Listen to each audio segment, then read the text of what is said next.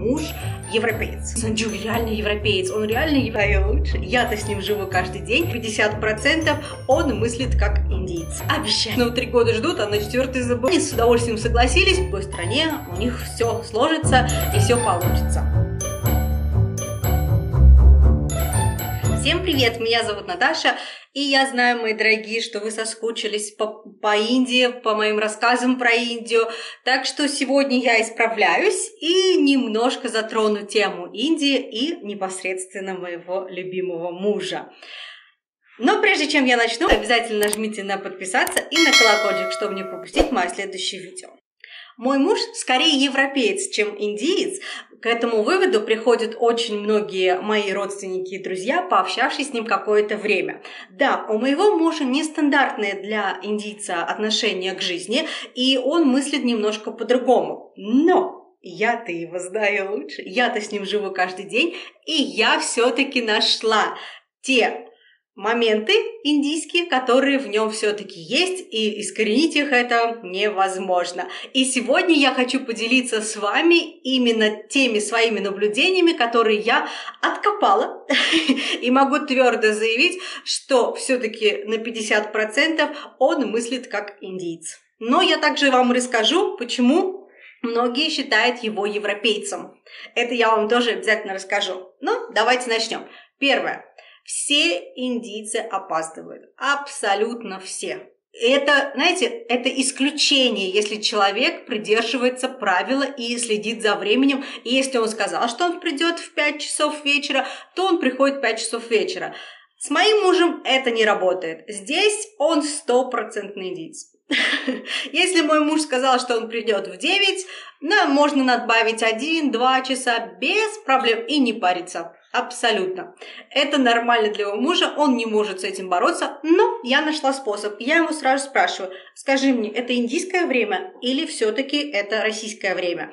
И когда он мне говорит, что российское, максимум, насколько он опаздывает, это 5-10 минут. Но если он все-таки мне говорит, что индийское, то я расслабляюсь, жду пару часов. И, кстати, никогда, практически никогда я не ошибаюсь, что набавляю два часа смело. Это вот первое, что самое такое, знаете, бросается в глаза. Второе – эмоции на людях. Здесь в Индии не принято показывать свои эмоции, то есть обнимать кого-то, не дай бог целовать. И когда мы находимся в компании друзей, наших родственников или просто идем по улице, то не вариант, что меня муж обнимет, поцелует, как у нас, например, ну, можно увидеть, например, в России. Здесь же он у меня абсолютно традиционный, и мне даже приходилось спрашивать разрешение родителей иногда пообнимать своего мужа, когда они рядом и когда они это видят. Они с удовольствием согласились, но мой муж говорит, Типа, не надо, пожалуйста. я, конечно, уважаю его за это, я понимаю, и он вырос в этой среде, и для него это нормально. Но когда мы наедине, тут, конечно, ограничений у нас никаких нет. Поэтому в этом он тоже очень традиционен. Следующая – забота о родителях. Конечно, везде э, ну, очень большое количество людей по всем мире заботятся о своих родителях, любят и почитают, но здесь это возведено на уровень повышен, ну, как я заметила, и здесь вся ответственность за родителей перекладывается на самого старшего. И если, ну, то есть, если это старший сын, то все, все обязанности о заботе родителей в будущем, и содержании и все остальное перекладывается именно на старшего сына. То есть средний, младший, они могут расслабиться и не сильно париться. Хотя бывает, конечно, исключение, что заботятся младшие и все остальное, но чаще всего большая ответственность именно э, кладется на старшего брата а, и именно на старшего сына. И если, например, в семье есть сестры, то он обязан заботиться о сестрах тоже. Но у моего мужа два брата, средний и младший. Вот. И как бы, да, всю заботу о родителях мы понимаем, что мы берем на себя. Я к этому спокойно отношусь, потому что я прожила всю свою жизнь со своими родителями до их ухода из жизни. Поэтому для меня, в принципе, это нормально, что как бы мы должны проявлять заботу о старших. Поэтому с этим я согласна, и за это я его ценю и люблю. И я понимаю, что действительно, ну, это то, чем, наверное, можно гордиться даже, то, что ты осознаешь свою ответственность перед родителями и готов э, в любой момент оказать им помощь и поддержку. Над этим мы очень сейчас стараемся и работаем, чтобы облегчить им жизнь и сделать все хорошо, не только как бы для нас, но и для них. И мы понимаем, что в будущем они будут на нашем обеспечении. Следующий факт – это эмоции. Все мы эмоциональны, но у индийцев на первом месте эмоции стоят. То есть они не боятся выказывать свои эмоции, негативные, радостные, они могут и заплакать, как и мужчины, так и женщины. А мой муж это делает крайне редко. Они не видят в этом ничего плохого, и у них нет осуждения по этому поводу. И я за, я за, за то, чтобы мужчина выражал свои эмоции, ну, в том числе даже плакал, потому что копить себе это не есть хорошо. И э, эмоциональность, конечно, иногда у Санджу зашкаливает, и он сам это признает. И я в этот момент стараюсь э, проявлять терпение и мудрость. Не всегда, конечно, получается, потому что тоже чаша терпения переполняется, а так как я тоже эмоциональный человек и чересчур эмоциональный, поэтому я тоже могу иногда выплескивать свои эмоции. И в этом плане, э, конечно, он вот тоже стопроцентный индийец. Следующее обещание. Я уже сделала пост в Инстаграме как-то перед Новым годом, когда нас пригласили в гости, и потом не срослось. Вот, я высказала там все про слово обещание. И да, в Индии вам могут что-то пообещать сделать завтра. Забудьте. Просто забудьте, что вам когда-то это пообещали. Я же русская, я я не могу останавливаться. Еще еще у меня характер такой. Если я чего-то хочу, я буду капать на мозг. Так кап, кап, кап, кап. Ну или возьму чайную ложечку и буду потихонечку выедать.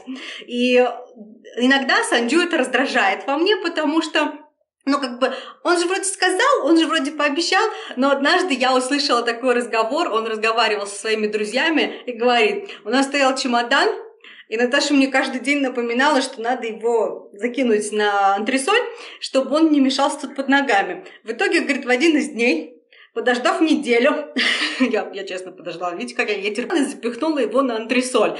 И вот, на что мой муж приходит и говорит, ну я же тебе обещал. Я говорю, знаю я ваши обещания, обещанного три года ждут, а на четвертый забывает. Вот это как раз про индийцев. Поэтому, если вам сказали tomorrow, это равно никогда. ну или 1-5%, что же все-таки tomorrow случится. Только не факт, что это случится в этом месяце, и не факт, что в этом году. Поэтому в этом плане Сандю тоже но. Из-за того, что мы сейчас вместе, он понимает, что я буду ему капать на мозг, что я буду ему напоминать, тыкать его и говорить, что надо это сделать. И он старается сейчас, конечно, эту себе привычку искоренять. Огромное ему за это спасибо разделение обязанностей. Везде есть такое, да, то есть женщина заботится о доме, об очаге, мужчина заботится, значит, о финансах и все остальное. И у Санчу тоже есть это разделение. Он считает, что я должна готовить, убираться, следить за ребенком, и э, как бы, ну, он будет заниматься финансами. Но так как я не такая, и э, готовка, уборка и быть домохозяйкой вообще не входит в мои планы, да, я, конечно, буду это делать и делаю сейчас, но я понимаю, что это не та сфера, в которой я бы хотела себя реализовать, и не хочу быть э, как индианки, которые полностью себя посвящают дому, детям, мужу. Я хочу тоже развиваться, я хочу э, тоже быть э, в бизнесе нашем, я тоже хочу ну, быть именно тем человеком, кем я хочу быть. И я это озвучила Санджу еще изначально, когда мы не были женаты. Я ему сказала, что э, я хочу работать. Ну, так как я понимаю, что в Индии официально мне работать разрешается только через два года после получения определенных документов, то как бы почему я не могу тебе помогать в бизнесе? И сейчас, да, мы работаем вместе, э, какие-то функции по нашему бизнесу выполняю я, какие-то муж. Поэтому э, разделение обязанностей все равно не существует, все равно уборка, готовка, стирка, глажка, возиться с Милкой, это все-таки на мне. Но иногда он меня балует, иногда он мне помогает тоже какие-то моменты делать, если понимает, что, например, в данный момент я занята ребенком. Так что в этом тоже он больше, наверное, даже индийец, хотя и европейцы, в принципе, большинство и в России тоже так же относятся к этому, что женщина все-таки должна заниматься бытом, чем, например, работой. Но это я говорю, это все индивидуально, ну, это вот такое все-таки есть. Ну и такой, знаете, смешной факт. Мой муж, а, как и большинство, да, 90%, наверное, индийцев, знает, кто такой сэр Раджиникант. Это актер. Мы ходили в кино как раз на его фильм. И все, когда идет фильм с сэром Рожникантом, начинаются в кинозале крики, э, возгласы «Ха-ха, ура, сэр Рожникант!». В общем, он звезда здесь номер один, э, и даже болливудские звезды его фанаты и мечтают с ним сняться в кино. Он потрясающий. Кто не видел никогда фильмы с ним, обязательно заходите ко мне в Инстаграм. У меня есть подборка фильмов, которые я сама посмотрела и которые советую вам. И там есть, кстати, несколько фильмов вместе с ним. Так что подписывайтесь на мой Инстаграм и смотрите те фильмы. Я посмотрела, кстати, больше 300 фильмов, и в подборке у меня больше 100. Я продолжу выкладывать фильмы, которые я еще смотрела. Сейчас я немножко пока притормозила этот момент. Но я планирую продолжить рассказывать вам про какие-то фильмы и делиться своими впечатлениями по поводу них. Так что обязательно заходите в мой инстаграм. Ну и, наверное, последний факт того, что я заметила. А, он, как и большинство индийцев, мечтает переехать в другую страну. Да, здесь есть такое, что большинство хотят все-таки уехать либо в Англию, либо в Австралию, либо в Америку, ну, либо в любую другую страну, но не жить здесь, в Индиях. То есть они хотят развиваться именно там, строить свое будущее. И очень много а, коллег Санджу, очень много одноклассников, одноклассниц уехали именно за границу, и очень много его друзей тоже сейчас готовятся к переезду за границу, и это для них вот является таким каким-то... Поэтому не думайте, что они так сильно прям фанатеют от своей страны и очень хотят прям здесь жить и развиваться. Нет, они так же, как и большинство из нас, мечтают э, о лучшей жизни, и они считают, что в другой стране у них все сложится и все получится. Это вот все то, то, что я заметила, не, ну, то есть типичного для индийца. А сейчас маленькие ремарочки, почему же большинство считает, что мой муж европеец. Ну, наверное, первая причина, потому что он у меня атеист. Санджу не верит ни в одного бога и не собирается. Он не э, участвует ни в каких праздниках, очень-очень, очень редко он соглашается на какие-то э, поездки в храмы, на какие-то, ну, прям вот, если уж очень это важно для его мамы, и он, конечно, согласится, он не хочет ее огорчать, и какие-то моменты он соглашается. Даже на нашу свадьбу, на индийскую, он, э, и то скрипя сердцем, согласился на многие обряды. И второе, его мысли – то есть он не зависит от мнения окружающих, как здесь большинство. То есть здесь, например, мнение соседа имеет какую-то силу. Сандю же, э, он не скажу, что прям на 100% уж не совсем зависит да, от мнения, но он в основном знает, что если он видит цель, если он знает, что ему это будет так хорошо, то мнение, знаете, даже его самого близкого друга, даже мнение его родителей, даже мое мнение а, не особо будет на него влиять, потому что он знает цель, он ее видит, и он к ней идет. И поэтому, если ему кто-то что-то будет говорить, что это не так, это не едок, он послушает, э, скажет, молодец, хорошо, ну оставайся дальше при своем мнении. Поэтому в этом плане сандю абсолютно нетипичный для индийцев, потому что они все-таки прислушиваются к мнению старших, мнению окружающих и, ну и так, поубывающий. Вот.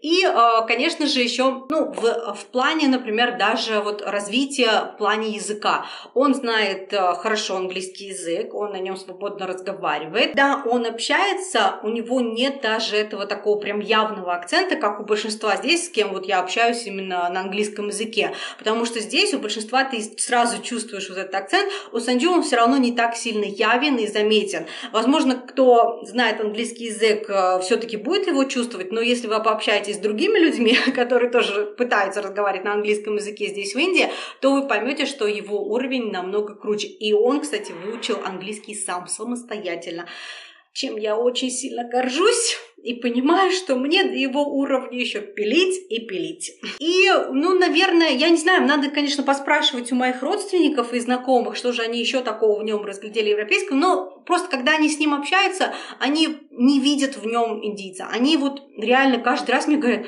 блин, Санджу реально европеец, он реально европеец. И я не могу понять, почему они как бы так вот прям активно это замечают, но, видимо, что-то еще есть. И я так думаю, что когда-нибудь, когда мои друзья приедут к нам в гости или мы поедем в Россию, я обязательно возьму у них интервью и задам им этот вопрос. У меня на сегодня все. Это все, что я смогла разглядеть пока в своем муже, поделиться с вами. То, что я вам рассказала про своего мужа, это касается и Индии. Я надеюсь, вы остались довольны, что я вам хоть немножечко, но рассказала про индийских людей, чтобы вы прекрасно понимали, какие они бывают и что, с чем вы сможете столкнуться, приезжая в Индию. Даже когда вы мне пишете, что правильно говорить не индиец, а индус, то я об этом вчера сказала своему мужу, и он пообещал, что он обязательно снимет для вас видео и все разложит по полочкам и расскажет, почему он все-таки индиец, и а не индус. Так что ждите от него его видео. Я его каждый день обрабатываю. Я уже вам говорила, что я умею ложечкой ковырять, что надо снимать видео. И он уже ну, знаете, так процентов на 60 готов снимать видео. И, кстати, сегодня он сказал, что у меня дурацкая прическа и дурацкий макияж. Я ему сказала, хорошо, хорошо. Тогда в следующее видео, ну, не следующее, но в одном из видео ты мне делаешь и прическу, и макияж, и посмотрим, у кого получится лучше. Так что, видите, у нас очень много планов, и совместных тоже. Поэтому я очень рада, что вы со мной. Я вас всех целую и обнимаю. Увидимся в следующем видео. Пока!